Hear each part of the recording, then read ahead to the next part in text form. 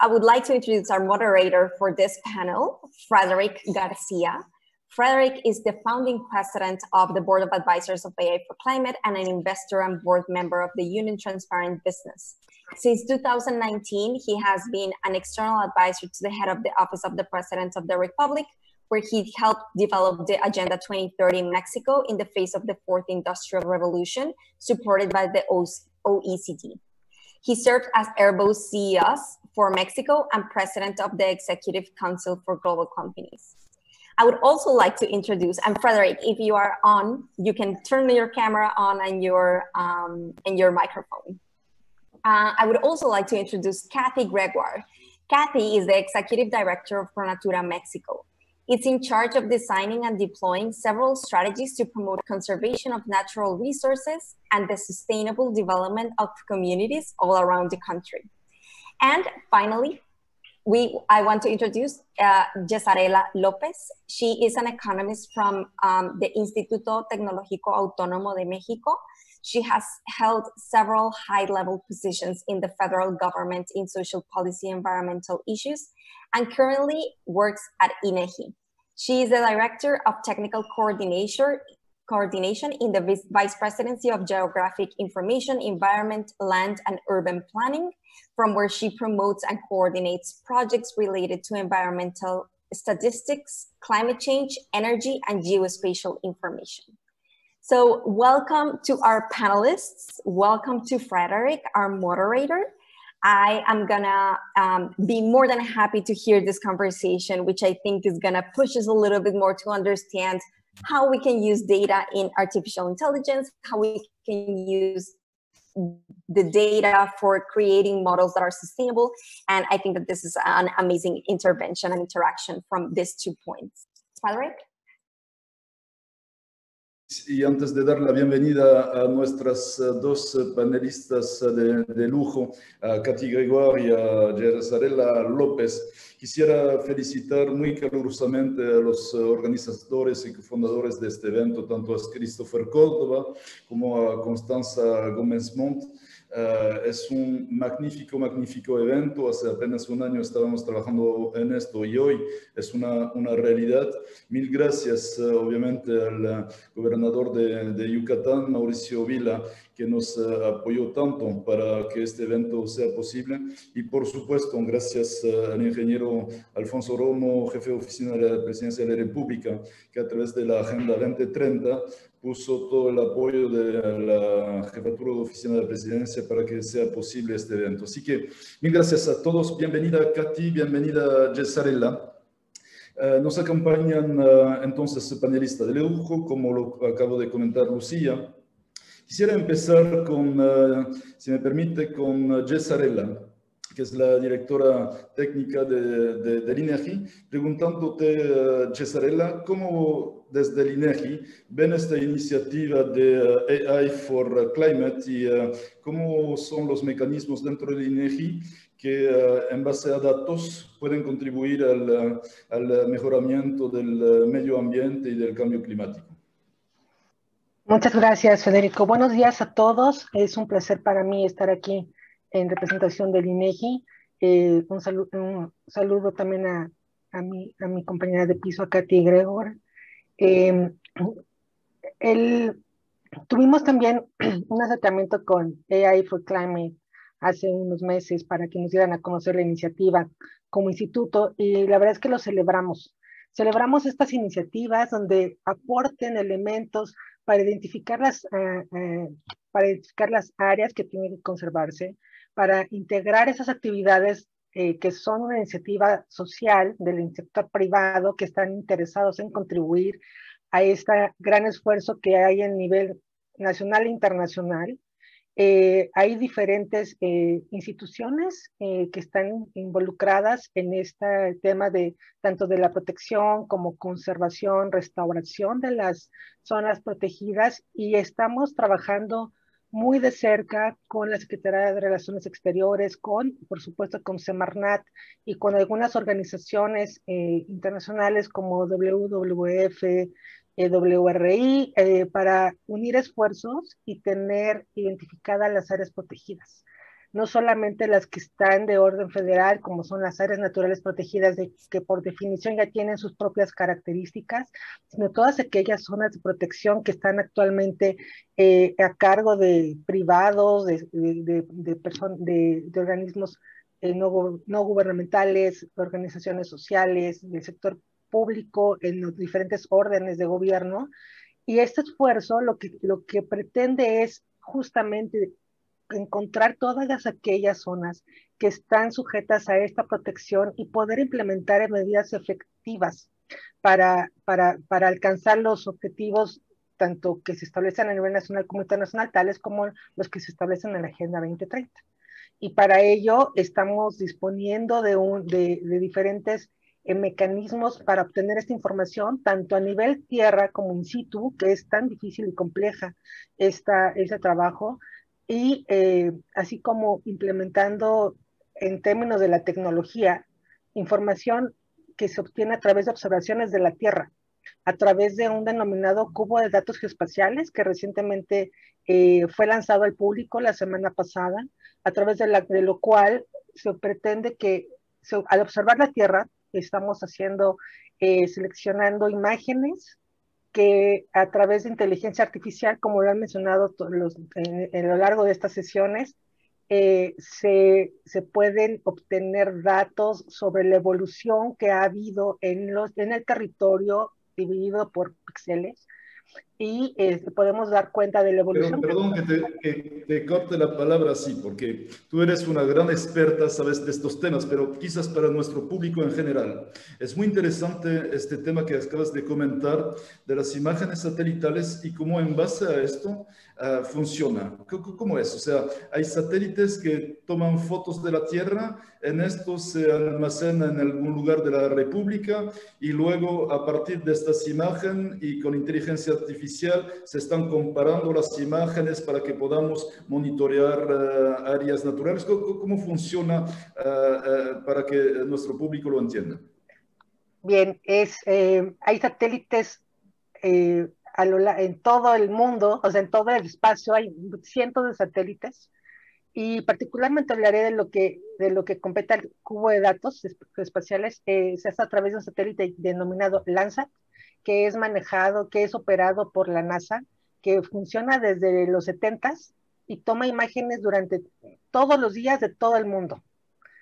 Estas imágenes tienen una resolución que nos permite dividir el país en, en grandes, este, en, píxeles se le llaman a las áreas, de tal suerte que hoy en día tenemos almacenadas más de 80 mil imágenes, mm, más de 100 mil imágenes que nos donó la NASA. Entonces, estas imágenes lo que hace es que tenemos peinado todo el país durante más de 30 años, nos donó estas imágenes, en lo cual podemos ver a nivel este, espacial por pequeños, en, pequeñas dimensiones, en, pequeño, en pequeña escala, podemos ver la evolución, conocer la evolución de ese terreno día por día, de tal suerte que podemos conocer la historia a través de la imagen, así como se evolucionó. Eh, esto es a través de, un procesamiento de imágenes que como se, eh, eh, se combina la estadística, las matemáticas y, la información espacial,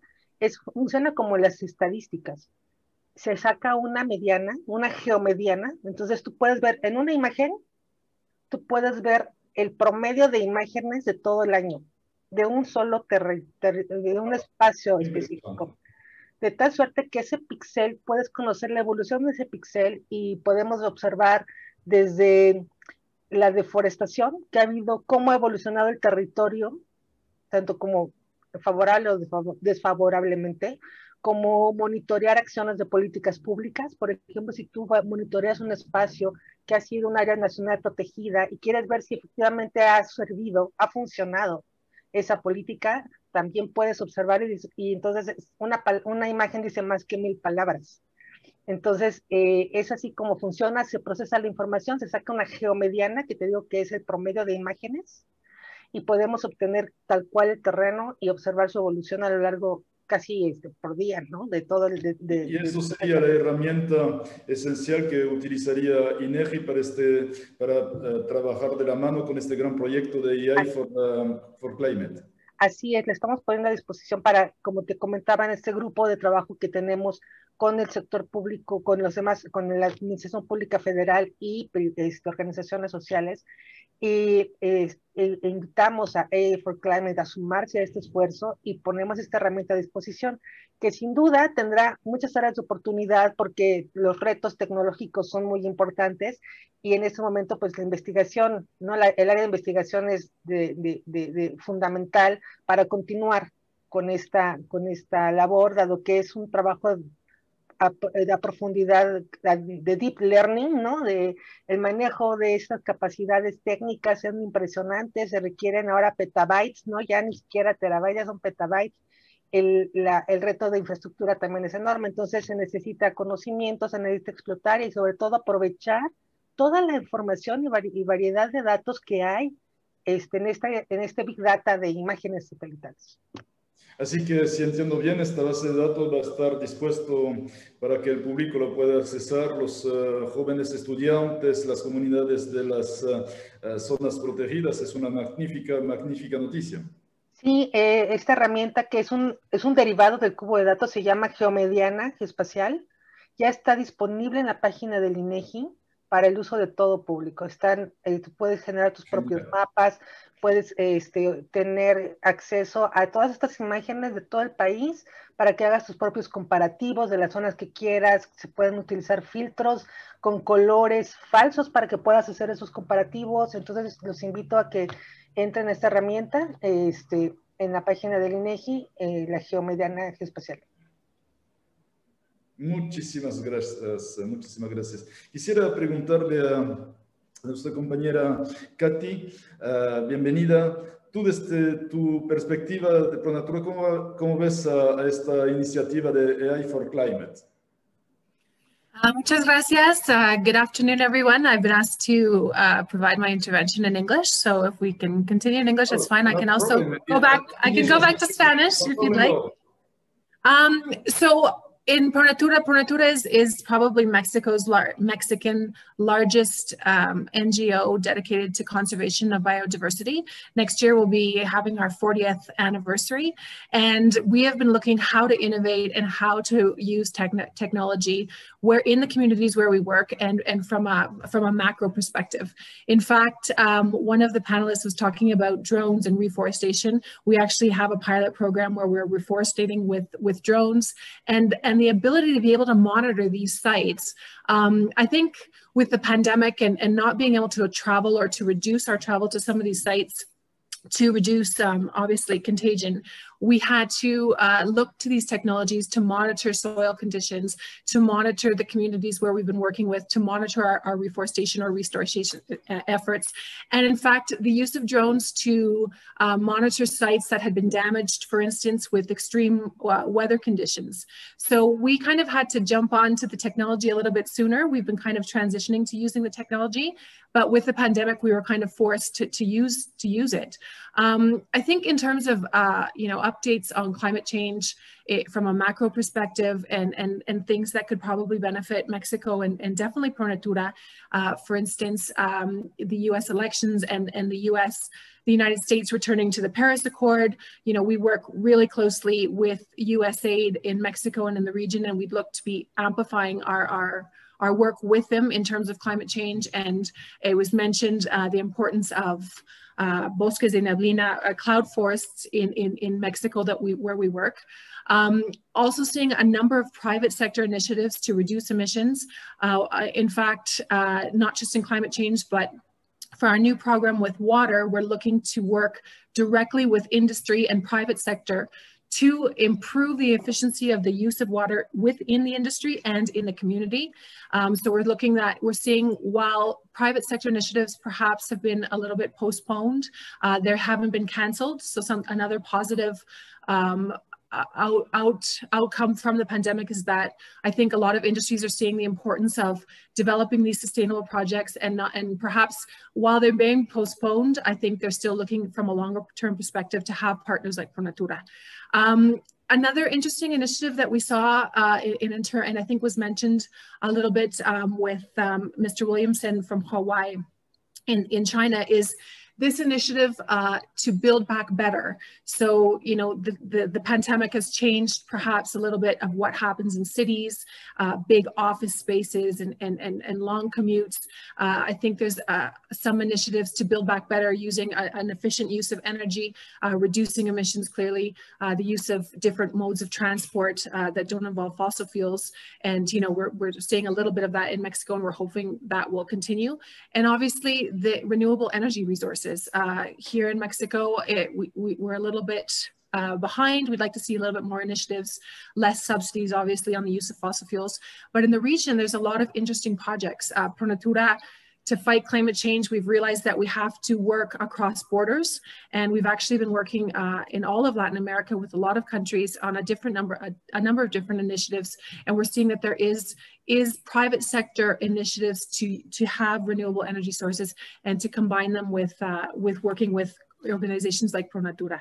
So, for, you know, congratulations to AI. I think innovation is, is, is the key to uh, working with uh, communities and the use of technology will continue uh, and it's probably a little bit faster now with the pandemic but we hope that others will will use this technology as especially open sourced information as Jessarela uh, uh, mentioned the use of open source data and to have this data at your fingertips to monitor these sites is, is very important.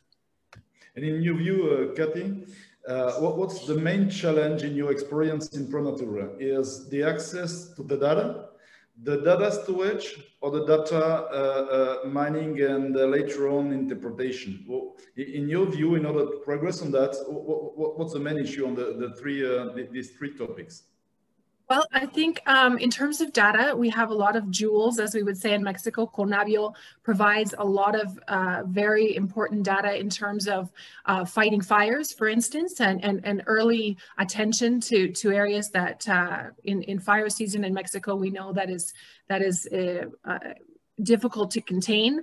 Uh, we work with communities to have that information as soon as possible so that um, local communities are dispatched to help fight these fires. Unfortunately, with a lot, without a lot of the equipment required. So actually, um, Pronatura uh, launched a campaign uh, earlier this year to help uh, what we call héroes brigadistas. So local people that were actually taking it, the initiative to fight fires and, and we were equipping them with, uh, with, with money that we received from donations. Um, so I think data data is is is is very important. But as as one of the panelists mentioned, um, you don't have to have the latest technology. And what we found, for instance, with the pandemic and and not being able to reach uh, some communities or not traveling to communities and, and in addition, unfortunately, to increase security risks uh, for, for our people to be traveling to some of these communities, it was basically equipping uh, people with a, with a phone that had a camera that they could monitor these sites, or perhaps a laptop where they could have, you know, their own workshops. So instead of Pronatura going out to the, to the field to provide these workshops, we were able to do it remotely. And instead of, of you know, I think it's important to build capacities in communities. And and a lot of times the communities teach us how to restore some of these these sites and how to better maintain um, uh, fires, etc. But also this, this how to show them a little bit more about, about technology where that they can replicate and share uh, workshops with other surrounding communities. So if had we not um, equipped them with this with this technology, it would have been more difficult for them to, to replicate and share. So I think uh, it's it's important to, to use technology, but it always doesn't have to be cutting edge. Uh, obviously, connectivity in, in Mexico is is a major is a major uh, problem and and and challenge. We're seeing it now with with kids being educated online and and through TV, radio, and internet. So obviously that affects us. So just being able to reach people. Uh, we work in sites. Pronatura works in sites that are are, are very remote. Uh, off the grid, as we would say. So connectivity uh, is, is, an issue, but I think um, the use of drones, the use of uh, open source information, the use of, you know, cheap phones, even like uh, phones that aren't 5G or 4G, are, have been have been an important part for us to be able to develop um, the relationships with these communities in the absence of being able to travel. Well, thanks so much. Uh, uh coming back with uh, just uh, uh, I'd like to ask um, about the availability of uh, data y quizás vuelvo al español, les propongo algo. Este, with Katy in English and uh, con Gestarera en, en español, si, si conviene. Uh, desde el punto de vista del, del INEGI, entiendo muy bien que el acceso a estos datos satelitales es parte de un, pacto, de, una, de, un convenio que existe entre el gobierno de México y, y, la NASA. Pero uh, ya que esta iniciativa de AI for Climate tiene la ambición de ser una iniciativa que escale, que sea global. Incluso, el, como bien saben, el Foro Mundial de la Paz en París acaba de mencionar y de apoyar a la, a la iniciativa AI for Climate para que escale a nivel mundial. Una de las preguntas que podríamos tener precisamente en estos temas de, de fotos satelitales, hoy en día en el mundo hay uh, un base suficiente de fotos satelitales que están abiertas a, la, a iniciativas como las, uh, las nuestras para que precisamente podamos trabajar en las mismas o sigue un tema de los espías y de la NASA y de los servicios de, de inteligencia de los países o al contrario, con, con ara a preservar el planeta y con la perspectiva de los acuerdos de París sobre el clima. Hoy en día hay mucha información disponible. ¿Cómo ves este panorama, Cesarela?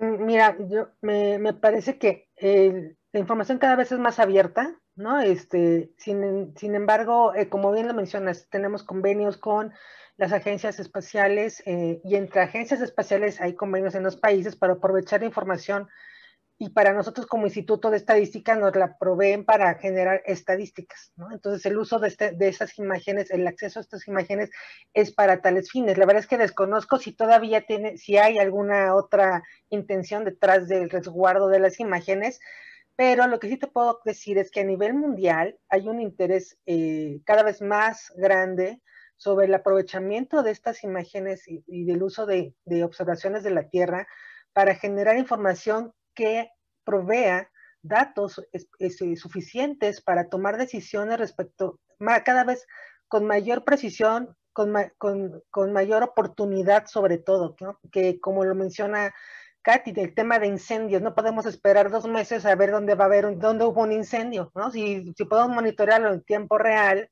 casi en tiempo real las acciones, como igual el, tema de, la deforestación, que, nuestro, que los panelistas anteriores lo comentaron. Necesitamos información cada vez más oportuna para tomar decisiones más rápido y tener también estas eh, acciones eh, determinadas para, para, para, sobre todo en la parte de emergencias, ¿no? Entonces, eh, para ello hay, hay grupos internacionales ya conformados, este, liderados por la ONU, en donde eh, confluyen no solamente los, los, las instituciones de estadística, sino también hay grupo, hay eh, eh, empresas privadas, organizaciones sociales, en donde se confluyen estos intereses y es donde se comparten y se aprovechan estas, estos, estos datos. Entonces, yo creo que eh, sin duda el tema, como te decía, la investigación es muy importante en estos momentos para el tema del uso y aprovechamiento de imágenes satelitales, por lo cual eh, queremos hacer un compromiso con eh, AI for Climate para trabajar juntos en el tema de la investigación y poder explotar y aprovechar esta, estos, estos, esta disponibilidad que tenemos tanto técnica como de información y de, y de, y de imágenes satelitales. Yo leía en la prensa recientemente unas declaraciones del canciller Marcelo Ebrard de que parece que la Cancillería está apoyando muchísimo los temas de, ah, ah, de, tecnología espacial y de tecnologías geoespaciales en México. ¿Tú crees que va en ese sentido de poder darle a México la posibilidad de tener cada vez más acceso a, a, datos de cómo ah, va evolucionando el territorio mexicano y más allá otros lugares que podríamos estar interesados como país en observar?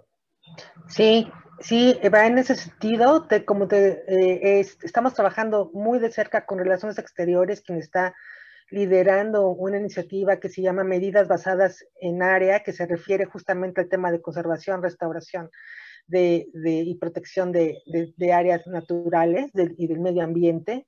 Es, y estamos buscando, y se está buscando en ese grupo, justamente este tema de cómo, de, metodologías eh, no convencionales, como se le denomina actualmente en el tema de estadística, con métodos no convencionales, como son las, eh, observaciones de la Tierra, para obtener eh, con más precisión esta información que permita tomar decisiones oportunas para el tema de medio ambiente.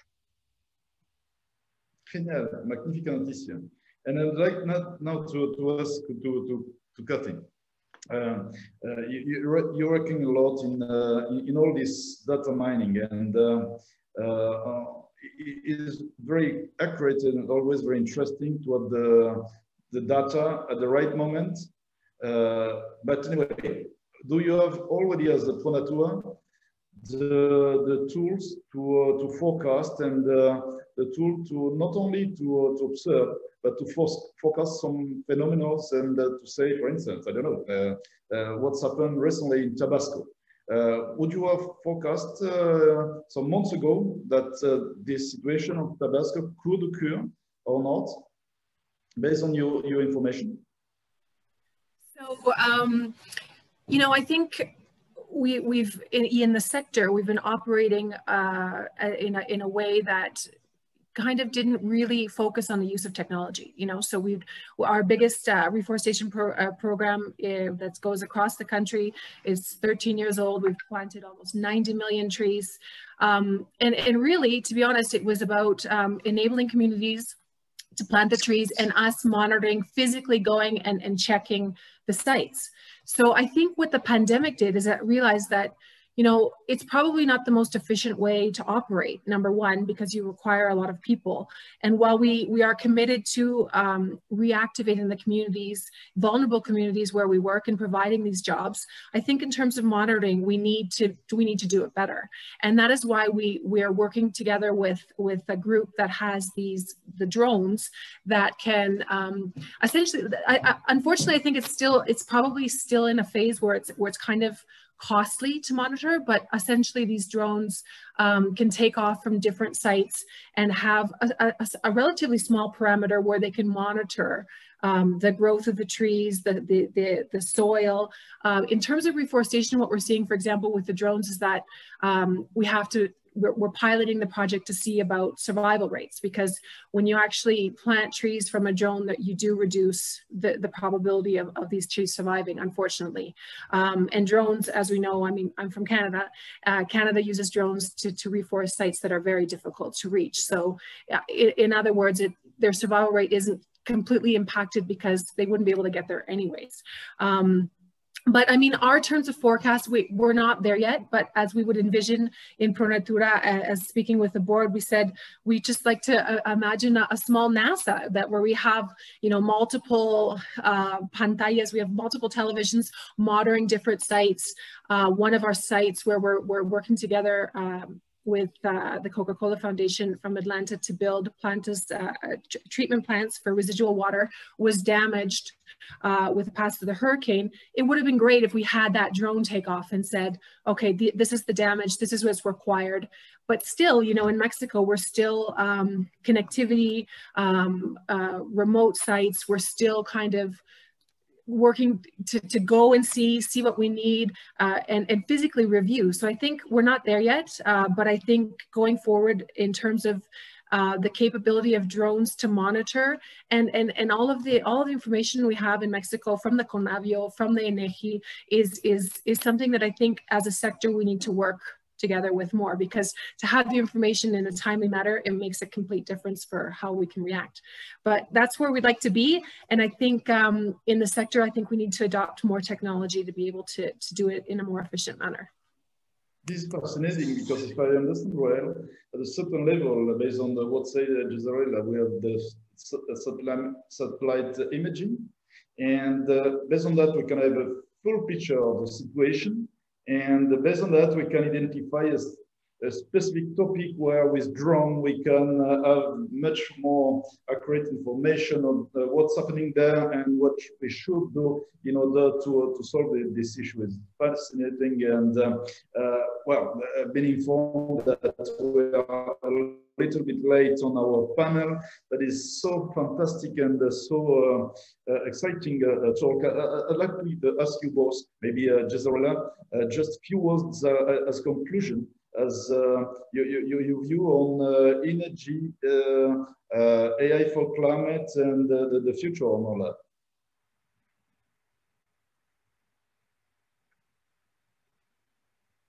Sí, inicio yo. Eh, I think Frederick froze a little bit. Uh, oh, okay, he's back. Frederick, we lost you for a second there, but you're back now. Sí, estamos, estamos eh, le, le, estoy pidiendo a nuestras dos panelistas sus conclusiones. Si me permite, creo que es muy importante escuchar la conclusión tanto de Jezarela como la conclusión de Katy. Gracias. Eh, pues eh, lo que me gustaría es eh, eh, reflexionar sobre la importancia de conjuntar estos esfuerzos. Todo el mundo estamos haciendo cosas, todo, hay, muchas, eh, hay muchas iniciativas, organizaciones públicas, privadas, sociales, que están trabajando por eh, identificar cada vez mayor información al respecto. Entonces, esta coordinación interinstitucional es de vital importancia porque debemos homologar criterios, establecer metodologías mucho más precisas y poder hablar todos un lenguaje común que nos permita hacer, tener información completa, donde es imposible, casi casi es imposible tener una sola organización, tener todos los datos, porque el territorio es enorme. Entonces, si todos unimos estos esfuerzos y esta iniciativa como el AI for Climate, que es tan importante para este tema, sumarnos, sumar los esfuerzos y como les digo, aprovechar la tecnología que tienen unos, la información que tienen otros, y podemos hacer esto, podemos tener un, panorama cada vez más completo y hacer frente a los retos que nos implica el cambio climático, no solo en México, sino en el mundo. Muchísimas gracias, Cesarelas. And on your side, Kati, what would be the, the, the uh, some words for conclusion of this panel? Um, so I think, you know, we spoke about uh, private sector initiatives to reduce emissions uh, from a macro perspective, you know, the United States uh, going back into the Paris Accord. But I think in the mainstream, and I loved what uh, one of the panelists was talking about, how the people, you and I can get online and calculate, you know, how much emissions uh, we're causing by, you know, the use of, of technology, uh, all of us being at home, you know, having five computers running at a time. So I think if we if we start thinking about that and how we're all emitting carbon, uh, I think we can look at how to mitigate that. And, and, and in ProNatura, we've worked uh, for the past almost 15 years in mitigating, uh, also adapting to climate change, but mitigating the effects uh, in the carbon market. So not just uh, big companies uh, wanting to reduce their emissions and mitigating the effects. We work with banks and, and big organizations to do that but why not think about how we can do that you know i'd like to i'd like to reduce or mitigate my carbon emissions because I know that I've been working from home and, and, and that produces a number of carbon, uh, um, so many tons of carbon or CO, of CO2. I can get on my calculator, my Neutralizate Pronatura Neutralize Me uh, calculator, and I can say, this is what I want. How can I mitigate that? And it's it's a it's it's a minimal cost. You know, we'd like to see, you know, if you order your pizza on Domino's, I'd like to I'd like to reduce the emissions of of the transport to my pizza. Maybe it's a little bit. It's just a motorcycle, but all of those, the carbon market, I think, is a huge step towards, um, and, and, especially, you know, for, forest, uh, ones related to forests, and how we can have these financial mechanisms to help communities, vulnerable communities, and especially in cloud forests in Mexico, to, um, to, to maintain and restore these forests. So I think in terms of the, the, the macro, and we, we see it in, in, in Wall Street, that there's big companies looking to, to reduce their emissions, but I think as as as people and you and I, uh, we, we need to look how we can either start reducing, but also um, mitigating the, the effects of the carbon emissions that we're all emitting working from home. Uh, while we may not be in our cars, there's still a major impact of all these computers running from our homes. So uh, I think Pronatura can be a partner and, I'm, and I'd, I'd, like to work together. We'd like to work together with AI and, and obviously uh, the Mexican government and, and, and allies that we always work with at a municipal and local level. Uh, thanks so much. So thanks so much for, for having us. Muchísimas gracias a todos. Thanks so much. And this panel is just showing something that we were discussing yesterday night.